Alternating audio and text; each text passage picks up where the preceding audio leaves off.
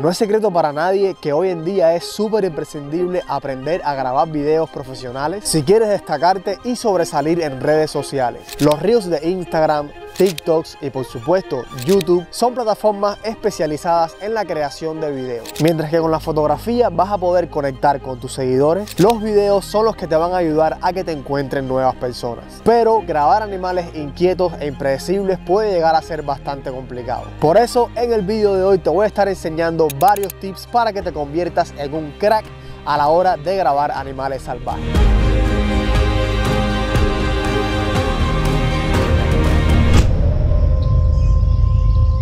El día de hoy me encuentro en las profundidades de un bosque de Cypress en búsqueda de mis aves favoritas, el majestuoso búho barrado, una especie nativa de la Florida y bien difícil de encontrar. Bueno, en realidad para mí no es tan difícil porque llevo muchísimo tiempo explorando estos bosques y estudiando estos búhos. Así que te invito a que me acompañes en esta gran aventura mientras te comparto mis tips más valiosos a la hora de grabar animales salvajes. Comencemos. Ya llevo viniendo a este lugar este año prácticamente desde el verano. Sin embargo, siempre es un reto, siempre tengo como esa gran emoción cuando llego, cuando entro al bosque, estar buscando en los árboles, arriba, abajo, a un lado, al otro, y voy a hacerle fotos y eso siempre me emociona bastante y no tuve que esperar demasiado. Ahora mismo me acabo de parar en uno de los puntos fijos míos favoritos, no tuve que esperar tanto. Al momento apareció uno, después apareció el otro, escuché creo que un tercero, pero lamentablemente la luz ahora mismo está bastante mala, está bastante nublado, pero bueno, nada mal para el primer encuentro del día. Y ya que estamos aquí, quisiera aprovechar para hablarles sobre el primer aspecto que siempre tengo que tener en cuenta a la hora de grabar videos. Y estoy hablando nada más y nada menos que de los cuadros por segundo. Así como en fotografía, los cuadros por segundo a la hora de hacer un video es exactamente lo mismo. La cantidad de imágenes seguidas que vas a tomar durante un periodo de un segundo. Lo ideal es grabar a la mayor cantidad de cuadros por segundo que haga tu cámara. ¿Por qué? Porque mientras a más cuadros por segundo grabes, más lenta va a poder ser la cámara lenta que vas a poder hacer en la edición, valga la redundancia. Si ustedes se fijan en los documentales de naturaleza de National Geographic, BBC, Animal Planet, la gran mayoría de tomas están a cámara lenta. ¿Por qué? Pues porque se ve más épico, puedes apreciar el movimiento del animal, porque si estás grabando una acción que está pasando súper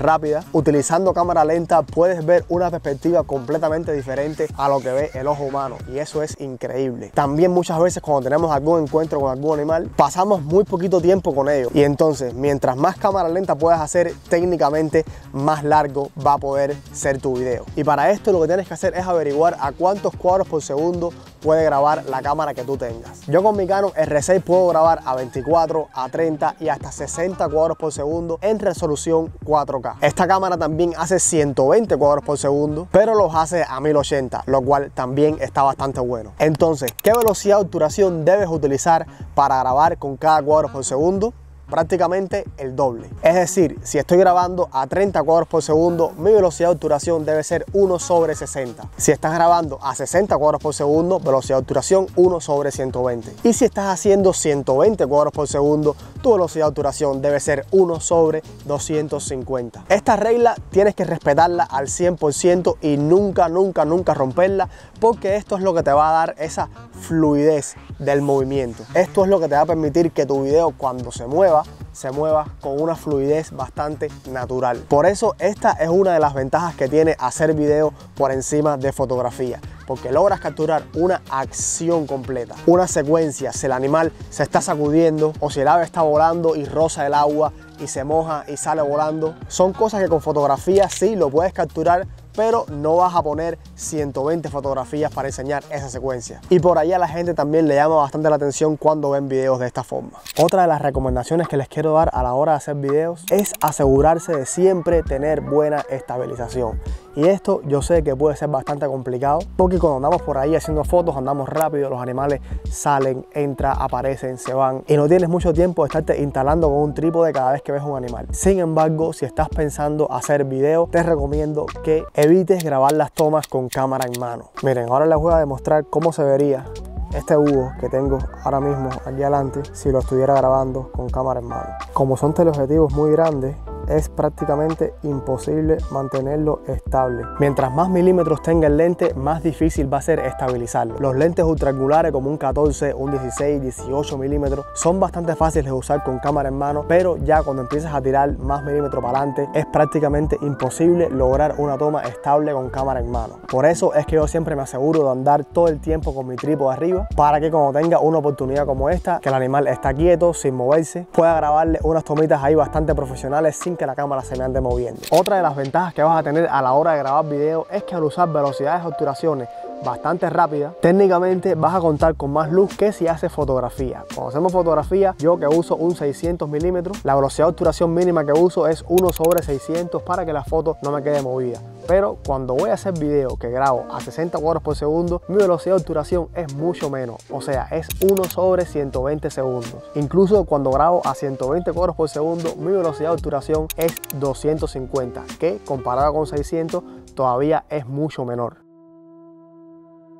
Muchachos, tenemos el segundo encuentro del día. Esta vez lo tengo posado aquí, alante mío, lo que está un poquito alto.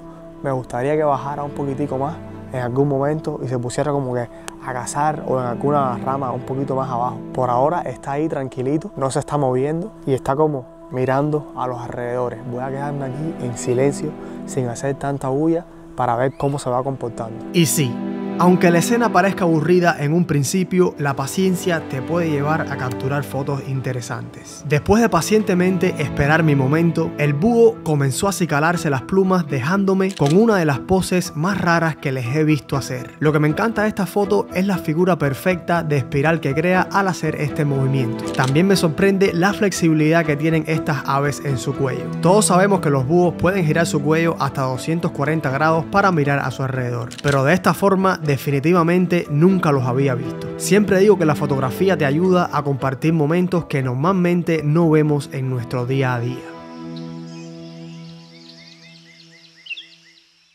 El siguiente error que cometí muchísimo cuando empecé a grabar con este objetivo y usando un trípode era dejar la estabilización del lente activada cuando estoy grabando una toma fija. Al principio no sabía por qué cuando estaba haciendo una toma fija la cámara empezaba a hacer así.